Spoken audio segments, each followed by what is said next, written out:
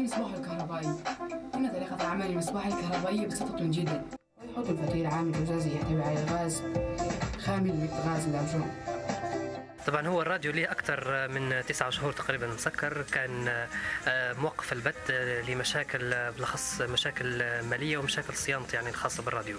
وتوا حاليا في طور إعداد وتجهيزات لعودة بث الراديو بإذن الله بحلة جديدة بأصوات آه، يعني حتكون بإذن الله أصوات شبابية جديدة. وركزنا على الجانب الشبابي يعني حيكون بإذن الله فيه أصوات شبابية آه، جديدة تخش معنا في خلال عودة البث في في جديد يعني.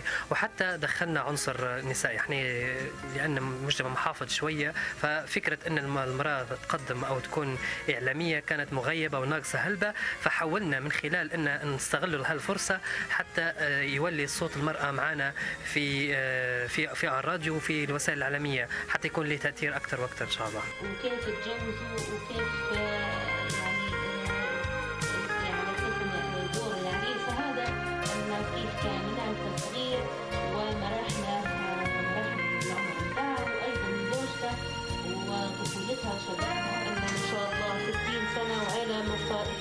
بعضهم وهذا يخفاش علينا. إحنا اللي نجهزوا فيه في تواصل مع مجموعة شباب انها بتجهز برامج مباشرة وفي برامج مسجلة. توجه الراديو ركز على ال- الاتجاه التوعوي الثقافي بحيث إن إحنا تكون لنا رسالة معينة.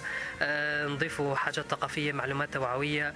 آه، أكثر شيء ركزنا على الجانب التوعوي الثقافي. وحيكون فيه برامج ثانية ترفيهية مثلا بالأخص برامج مثلا ليلية. وحيكون أيضا حتى عودة البث حيكون صباحي لأن إحنا كنا في سبق نبثوا من فترة الظهر لكن بإذن الله ال- هالمرة حنبدو دوام كامل يعني من من الفترة الصباحيه للفتره الليليه بإذن الله. العلكة العلكة هي الحلوى التي تمضغ دون أن تبلع وتصنع بأشكال ونكهات كالقرفة طبعا إحنا سعداء جدا إن إحنا بيولي لنا الراديو راديو نالوت هو الحاجة الإعلامية الموجودة الوحيدة موجودة في مدينة نالوت. يعني اللي نقدروا إحنا نوصلوا بها رس... نوصلوا بها رسالة وهي آه، سلطة لها سلطة كبيرة ولها تأثير كبير.